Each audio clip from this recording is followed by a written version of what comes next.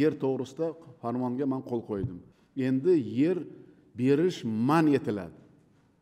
Faqat sotiladi yana bir marta aytaman auksion orqali yer sotiladi. Yer berilmaydi. Yer sotiladi ha ijaraga beriladi.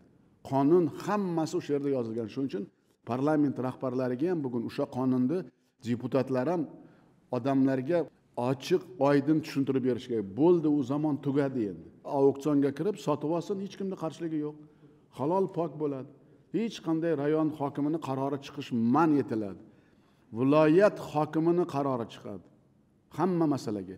Yer berishdan oldin o'rgatib biz yerni haqiqiy egasiga xalqqa bermoqchimiz.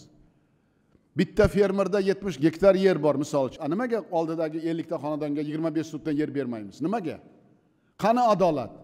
U bundan yaxshi man bu yerda ikki barobar yaxshi qilaman deydi. Bo'ldi unga o'n yilga beramiz. Agar hayotdan umidi bo'lib bolamni boqaman degan odamga kam ta'minlangan ishsiz yurgan ishlayman deganlarga biz imkoniyat yaratyapmiz yer beramiz.